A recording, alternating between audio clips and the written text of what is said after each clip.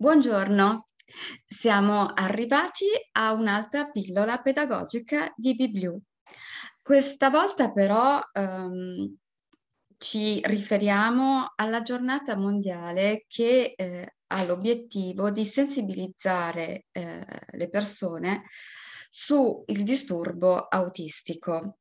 Infatti oggi è con noi una uh, persona estremamente competente, personalmente è la persona più competente che conosco in, questo, in quest'ambito, ed è la dottoressa Elisabetta Negroni, docente di sostegno da 40 anni, esperta di inclusione e tremendamente modesta, per cui di, dice molto meno di sé di quanto in realtà è.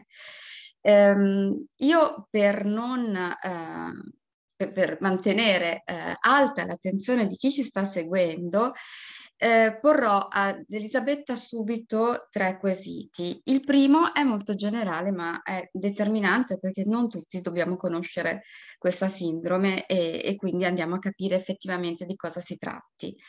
Eh, dottoressa Negroni, Elisabetta Negroni, cosa si intende per disturbo dello spettro autistico? Buongiorno a tutti, buona giornata. Allora, nell'ambito dei disordini del neurosviluppo, gli autismi eh, o i disordini, i disturbi dello spettro autistico sono un gruppo eterogeneo di disordini che eh, vede compromessi degli aspetti sia nella relazione sociale sia nella comunicazione che nel linguaggio con la presenza di comportamenti ripetitivi e interessi ristretti. Nella componente neurofunzionale possono essere collegati dei deficit percettivi, dei deficit emotivi e dei deficit cognitivi. Ma tengo a sottolineare che c'è una varietà di tipologie cui corrispondono altrettante differenze tra le persone, per cui da una lieve difficoltà al disturbo conclamato c'è una gamma di sfumature eh, infinite ehm, anche perché ogni persona che rientra in questo spettro presenta un unicum nella combinazione che, ehm, che, che presenta fra le aree cognitive, fra le aree comportamentali, fra le aree dell'interazione sociale e così via. Um, Tengo anche a precisare che eh, l'autismo eh, è non è una condizione univoca, ma piuttosto è un insieme di condizioni neurologiche associate così strettamente ad altre che possono essere bioenzimatiche, eccetera, così strettamente, così ehm, ad personam, che effettivamente è difficile scinderle. Ecco perché bisogna guardare a quella persona, come si fa con tutti, peraltro, non solo con, i, con le persone con che appartengono allo spettro autistico. Molto chiaro, quindi ehm, eh, Elisabetta Negroni ci sta dicendo che se possiamo dire che eh, non lo so, una malattia ehm, di tipo gastrointestinale è quella, quando parliamo, o possiamo anche dire che um, ci sono alcune psicosi che si ripetono, quando parliamo di disturbo dello spettro autistico dobbiamo proprio andare a vedere chi abbiamo di fronte.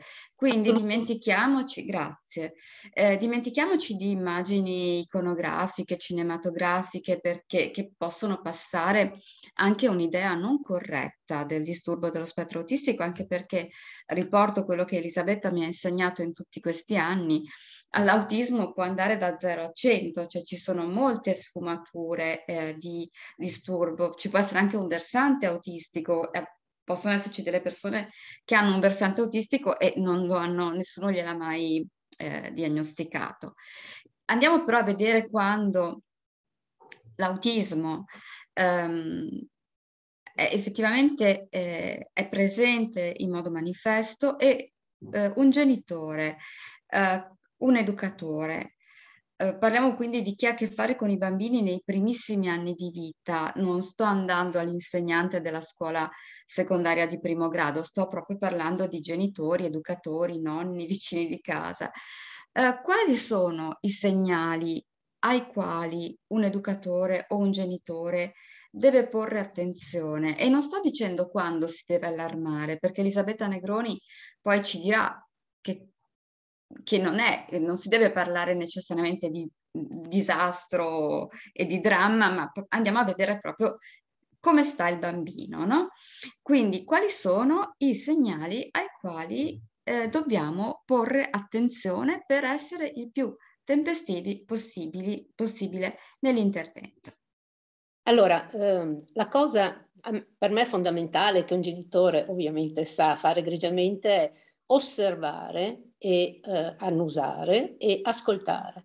Eh, porsi in ascolto e mm, raccogliere delle informazioni eh, con un'apertura rispetto a, a, quelle che possono essere mh, capacità, potenzialità, punti di forza o difficoltà è ehm, inevitabile se vogliamo andare a vedere la persona. Allora, intanto le informazioni io le raccoglierei nell'ambito dei cinque domini, che sono proprio quelli a cui si riferiscono anche tutti i modelli di intervento, penso al Denver, ma tutti, anche tutti i più recenti. I cinque domini eh, per cui raccogliere le informazioni attengono alla questione dell'imitazione, alla comunicazione non verbale, alla comunicazione verbale, allo sviluppo sociale e al gioco. Quindi dobbiamo raccogliere. Poi, in seconda istanza, parlando di autismo, ehm, starei alla regola delle, delle tre categorie. Date tre categorie, solo disturbi della comunicazione, solo disturbi del movimento e del controllo posturale, solo disturbi di processazione sensoriale. Se, la, se il bambino, la persona che io ho davanti ehm, e che descrivo, ehm, rientrano nella prima cioè in una o in due di queste categorie, non posso parlare di autismo. Per parlare di autismo devono rientrare in tutte e tre le categorie, altrimenti è disturbo della comunicazione, altrimenti può essere disturbo della coordinazione motoria o dispressia e così via. Quindi eh, fatto questo, io mh, apro una parentesi e la chiudo subito, a operatori e insegnanti segnalo, lo sanno benissimo, che prima di avviare ehm, questa mh, attività di puntuale osservazione volta a cogliere i dettagli, che sono la cosa fondamentale, proprio osservarli, ascoltarli, Un'intervista con i genitori che rimangono i maggiori conoscitori del bambino i nostri maggiori alleati è essenziale proprio per vedere di questo bambino in ottica del come opereremo, cosa piace, cosa disturba, come, eh, verso cosa va, verso cosa si ritrae, cosa lo spaventa, cosa, mh, a cosa bisogna stare attenti, quali sono le sue abitudini e così via. Ogni informazione, lo ribadirò anche alla fine di questa intervista, ogni informazione sarà una dei tasselli che mi permetterà di programmare un intervento. E parlando proprio di segni, allora, cosa esempio, guardiamo? Per esempio, se io um, mi sfiora l'idea di una difficoltà di quella tipologia, vado è perché ho visto delle anomalie della socializzazione, possono essere um, la mancanza di sorriso sociale, la mancanza di risposta al nome, il contatto oculare povero, eh, la preferenza per giochi solitari, quindi un certo isolamento, oppure possono esserci anomalie nel comportamento, delle crisi di collera, dell'oppositività, iperattività o passività, ehm, un uso non adeguato dei giochi e dei giocattoli, eh, un attaccamento inusuale per, alcune, eh, per alcuni ambienti, per alcuni rituali, dei movimenti bizzarri, eh, oppure posso aver osservato delle difficoltà nell'interazione, quindi disturbi precoci nell'indicare, una cosa importantissima su cui magari torneremo, perché il fatto che un bambino non sappia indicarti dove è male, oppure che per raggiungere un oggetto che vuole ti prenda il polso e ti conduca perché non riesce a farlo lui, non riesce a raggiungere lui lo scopo, oppure, eh, questo già ci dice insieme ai movimenti bizzarri, insomma, ehm, nell'interazione, nelle difficoltà di interazione possiamo assistere a una tensione congiunta che non c'è, a un divertimento congiunto che non c'è, a un'attenzione condivisa che viene a mancare, a una difficoltà nella comunicazione, ripeto, sia nel pointing gestuale dichiarativo, che è importantissimo, ehm, sia nelle eh, difficoltà dell'alternanza allo scambio, per esempio il turno, semplicemente a coppia, se ci sono incapacità a turnare, io parlo, tu ascolti, tu, as- tu parli, io ti ascolto, eh, capiamoci, insomma, potrebbero esserci dei segnali. E poi tutta la sfera della comunicazione.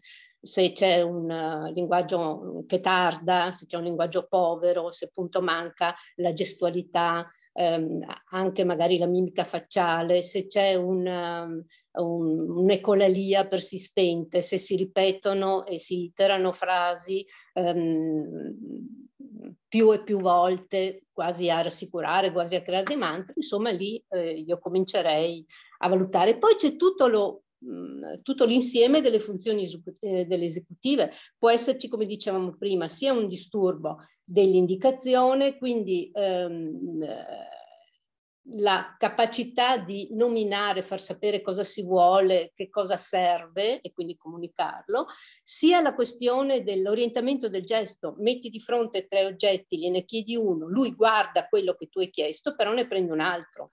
Questa è una difficoltà nell'orientamento del gesto. E poi c'è la difficoltà nella pianificazione del progetto, cioè lui ha capito cosa fare, ma non sa organizzarsi per fare quella cosa. Altra cosa, la, ehm, la conseguenzialità, mettere insieme le sequenze, no? Eh, tu gli chiedi, eh, apri l'astuccio, oppure eh, apri l'astuccio, prendi il pennarello arancione, già solo questi due comandi, lui va verso l'astuccio, prende l'astuccio e poi è, è come bloccato non riesce ad andare avanti. E ultimo, ma non ultimo, la questione del problem solving.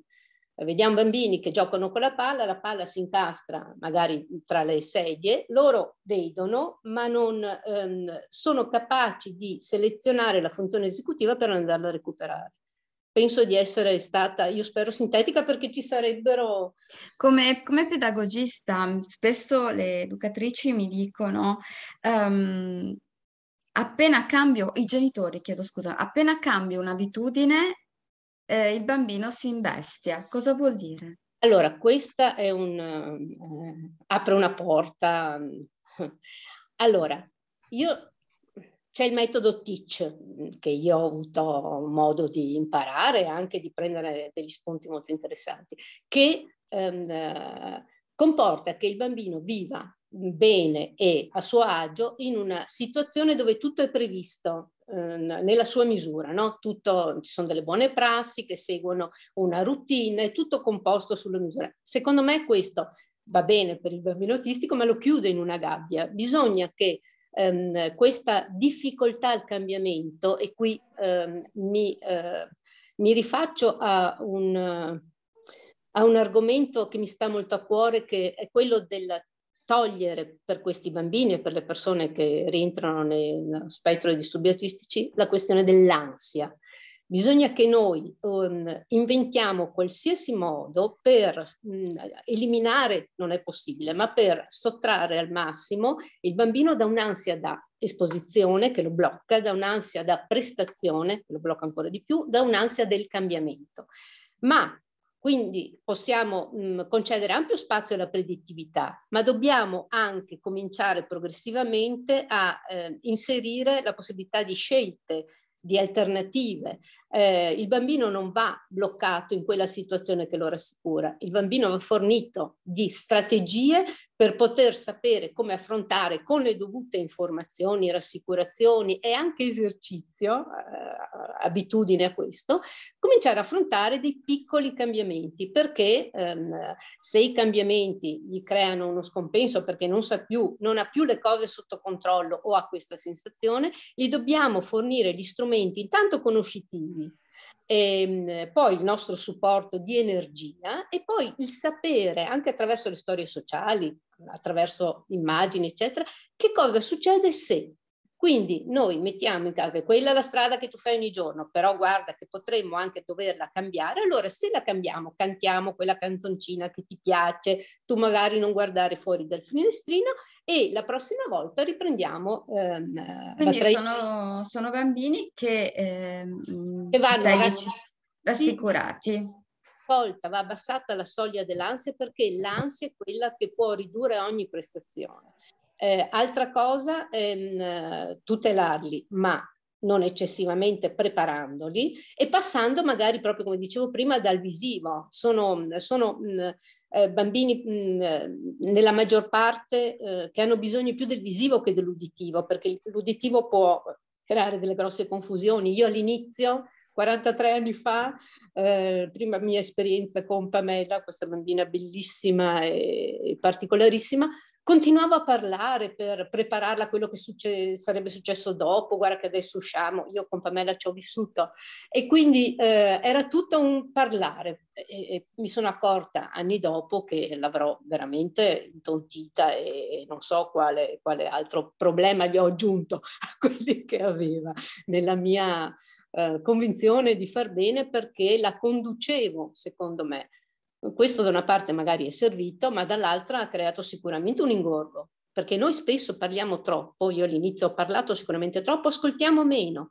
Invece il fatto di aspettarli, di attenderli, di dare loro i tempi, no? di puntare a una qualità della vita qui adesso, il più alta possibile al loro benessere, implica che dobbiamo attenderli, implica che dobbiamo fermarci, aspettarli, implica che dobbiamo essere mettersi al loro servizio allargando invece che pensando alla nostra ansia di ottenere, questo per gli insegnanti e per gli operatori, ma anche per i certo, genitori. Per i genitori. Quindi diciamo questi segni caratteristici, ehm, tra cui appunto il, la, la L'andare in crisi quando c'è un cambiamento, i genitori mi parlano anche di ho spostato semplicemente la saponetta, non era al solito posto e questo ha provocato una crisi di rabbia.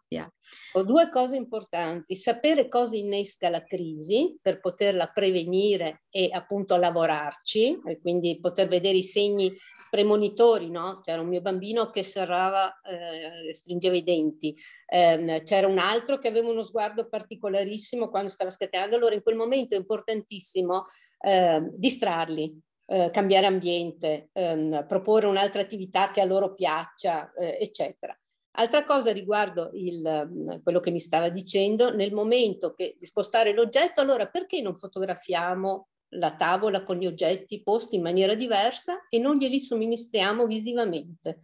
Perché? Perché poi dall'immagine, insomma, sposta tu, sposto io, ecco, può essere un gioco che mh, mm, può significare che lo spostamento non sia più sconosciuto, non sia più ehm, un, un malessere, ecco, perché non si, non si sa dove va l'oggetto. Questo in un certo senso Elisabetta Negroni ci, ci porta, mh, mm, eh, mi mette nella condizione di aver già percepito una risposta al mio terzo quesito, perché io eh, ti, le avrei chiesto come si interviene.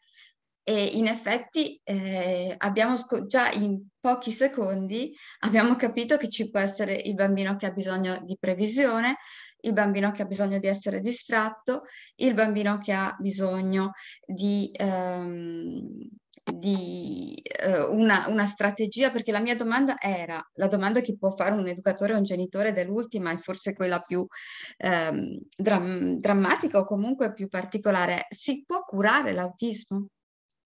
L'autismo ad oggi, eh, ho detto, eh, essendo una condizione così complessa per mm, severità, per complessità così, ehm, così intricata, eh, ad oggi, che io sappia, nel mio piccolo, anche eh, avendo contatti con eh, neurobiologi, genetisti, eccetera, per il momento no, anche se la ricerca continua. Ma si può intervenire in modi infiniti eh, bisogna, come dicevo prima, eh, distinguere per esempio tra ciò che un bambino non vuol fare e tra ciò che non può fare e non insistere sulla seconda. Bisogna concentrarsi su ciò che è in grado di fare piuttosto su quello che non può fare. I famosi punti di forza ci servono, una volta osservati, come leva per poter aprire lo spettro, per poter Faccio un esempio stupidissimo. Um, Davide aveva imparato in seconda elementare dalla tabellina del un bambino autistico grave che, ehm, con delle, de, delle, crisi di aggressività e di, auto, eh, di autolesionismo.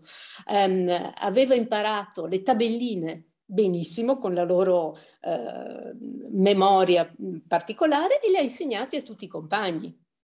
Lui le diceva eh, 2, 4, 6, 8, 10, eccetera, però questo ha significato un esercizio per tutti che eh, sonoramente, insomma, è entrato e tutta la classe alla fine della seconda, invece di sapere poche tabelline, le conosceva tutte grazie a Davide. Poi, scusi, ehm, bisogna mh, fare attenzione a ogni modo in cui cercano di comunicare, perché ci sono questi modi, non sono i nostri. Luca, meraviglioso, mh, mm, ci ho messo un anno per capirlo, io e i genitori con me, estrapo- lui era appassionato di film di Disney, eh, cartoni animati, eh, estrapolava delle frasi da canzoni o della Sirenetta o di Lili il Vagabondo o degli Aristogatti per improvvisamente diceva questa canzone con una vocina cantando e ci dava dei segnali, ma lo capivamo sempre dopo, per dire, bisogna raccogliere tutto. Poi è un pensatore concreto, per cui interpreta il linguaggio letteralmente, stiamo attenti a usare metafore, pronomi. Quindi ti voglio bene col cuore in mano, per loro è che prendo il cuore e lo tengo in mano. Qua puoi immaginare come ti, cioè, no, no, è come a livello come i sordi, come i sordi profondi che non riescono a, è, è difficile che arrivino a concepire questo. Altra cosa è identificare ehm, la funzionalità altra sensoriale è un argomento a cui tengo tantissimo ed è importantissimo. Ognuno di noi funziona con le cinque finestre verso la realtà, i nostri cinque sensi, con un lieve iper o un lieve ipo. Per loro la cosa può essere massimale. faccio un esempio. Eh, se eh, Pamela aveva non lo sapevo, aveva un ipovisivo, era un'ipovisiva. Per quello a Venezia, ogni volta che c'era un ponte o c'erano delle scale, si metteva a urlare come una disperata in mezzo alla gente, fino a che io non ho avuto l'eliminazione al ponte di Rialto di mettermi davanti a lei e farla scendere mettendomi davanti a lei, perché non metteva fuoco, quindi era spaventatissima e questo è un esempio di ipo. Altre persone che eh, annusano la propria saliva, vanno di preferenza nei bagni, prendono e giocano con le loro feci, è probabilmente un problema di ipo olfatto, vanno alla ricerca. Ecco, ipo vuol dire ricercare quello stimolo perché non, non è sufficiente. Iper vuol dire difendersi da quegli stimoli, per cui i bambini che sono monotematici nell'alimentazione probabilmente si stanno difendendo da gusti che reputano aggressivi e anche lì c'è un'infinità di cose per intervenire progressivamente attraverso l'informazione visiva, attraverso dei piccoli, mh, mm, dei piccoli esercizi annusando le cose, a cominciare dalle più soft, andando a finire come facevo io con la cipolla, con l'aglio, la varichina, il deodorante del papà e così via. Altra cosa, non finirò mai di dirlo, ridurre l'ansia capire che certi malesseri dipendono proprio dall'ansia, anche dal fatto di, per esempio nel caso di Davide, è dovuto essere abituato a, a affiancare il compagno, aiutarlo, però per lui mettersi davanti a, ai banchi o vicino a un banco era un'ansia da esposizione incredibile. Anche quando noi chiediamo qualcosa, eh, se non lo capisco bene, se non ti capisco bene, se ho confusione e i sensi non mi si sincronizzano, io sono in un inferno. Sta a me capire quando c'è un benessere, quindi catturarlo e ricordarmi quali sono le condizioni per. Altra cosa importantissima è, ehm, mi è sfuggita, ce l'avevo qua ma mi è sfuggita, è, vabbè, ne prendo un'altra dare nomi alle cose. Spesso i, i nostri, questi bambini, parliamo di bambini, non hanno le parole, letteralmente. Quindi ricordando per esempio degli insegnamenti di Domane Delacato che metteva i cartellini con le parole, io per esempio ho il mio metodo che attacco alla sedia, la fotografia della sedia, la parola sedia e riempio e tappezzo. Io così ho insegnato a leggere a quasi tutti, il 90%, è sempre impossibile, ma è così um, stampato maiuscolo rosso. Uh, Su fondo eh, bianco. Un, uh, ha una comprensione laterale il ragazzino, il bambino autistico. Faccio un esempio stupido che mi è venuto in mente l'altro giorno. Eh, Sandro non avrebbe mai risposto in quinta element- quarta elementare alla domanda chi era Carlo Magno.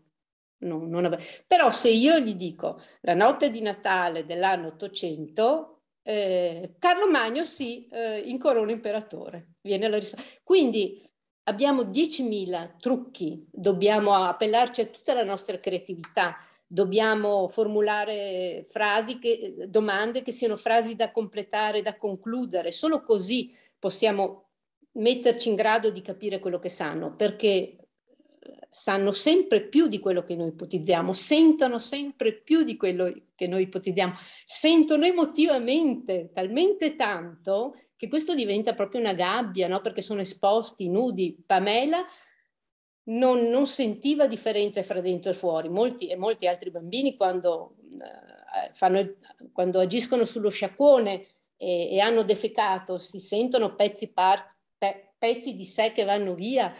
Mm, Luigi non distingueva eh, eh, gli uccellini che erano fuori e che cantavano, dovevo chiudere le finestre perché erano invasivi per lui. Ancora Pamela, mi ricordo quando passava un aereo o c'era l'aspirapolvere al piano di sopra, eh, perché c'era un iperudito. Lei era ipovista, ma era iperuditiva e così via.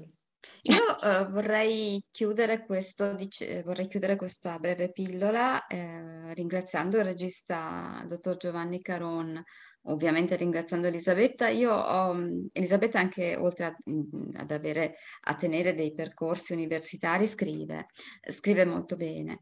E io ricordo un suo libro intitolato Ognuno per me, che ho amato moltissimo, dove raccontava i suoi casi eh, in modo molto, molto poetico. Uh, sarà mia cura eh, mettere nella pagina Facebook di Bibliu eh, quello che spero essere a breve il prossimo libro di Elisabetta, anzi una rivisitazione eh, con un completamento di questo libro che avrà un altro titolo, ma che racconterà tutti i casi che ha seguito e che saranno molto utili per educatori, insegnanti, docenti eh, che sarà edito dalle edizioni Bette e che proprio eh, troverete questo suo modo di parlare, che è affabulante, è affascinante, lo troverete eh, nero su bianco, almeno io mh, mm, ehm, vedo, leggo e sento attraverso il racconto il mondo che hanno dentro questi bambini.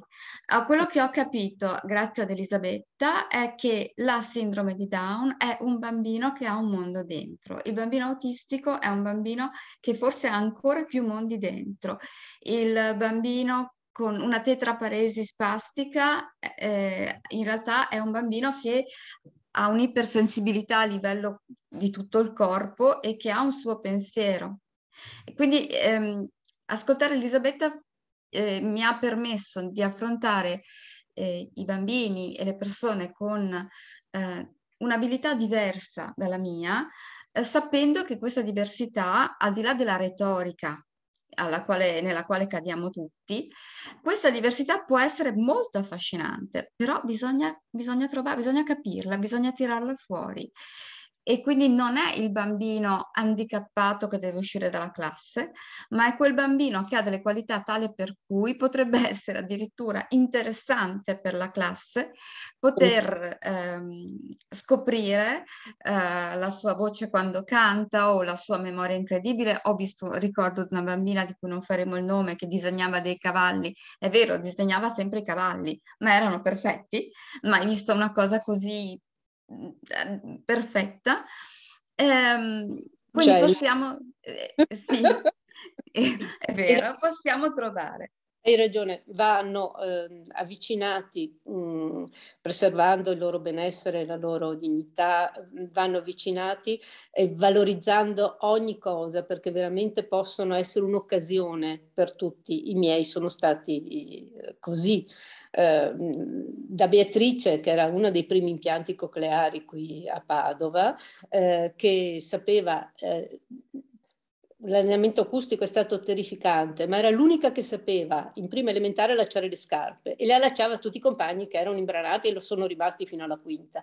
Eh, questo per, per, togliere un attimo anche ehm, eh, non la retorica, ma l'enfasi no, da questo. Eh, per gli altri sono sicuramente un'occasione, però loro vogliono semplicemente star bene, vivere in mezzo agli altri e noi dobbiamo fornirgli ehm, questi, mh, queste strategie, questi passaggi per poter collocarsi nel mondo, trovare il loro mondo, trovare ehm, il loro stare. Um, tantissimi bambini um, con, appartenenti allo spettro di disturbi autistici avevano per esempio riscontrato una memoria visiva mh, incredibile ma anche una uh, possibilità di analisi e discriminazione visiva su cui far leva per l'insegnamento le- della lettoscrittura per esempio ma anche su altro. Le loro peculiarità, caratteristiche personali se noi guardiamo oltre verso un orientamento lavorativo, verso un orienting, ci possono, um, ci possono aiutare aiutare a definire per esempio che la meticolosità, la pignoleria,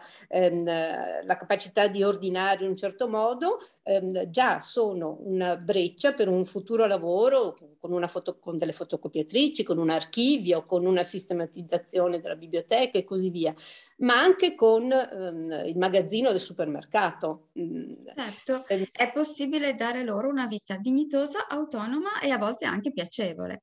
Io no, ricordo oltre... Bisogna puntare sul piacevole. Il certo, piacevole... è, hai ragione. Non vale il gioco, eh. Non vale, altrimenti non, non, non, ne vale la pena. Io chiudo ricordando, a, lo dico a Giovanni che ha una particolare, eh, conosce per eh, il, la, la, relazione tra i bambini e gli animali, eh, che Elisabetta ha fondato il primo centro di ipoterapia. In che anno Elisabetta?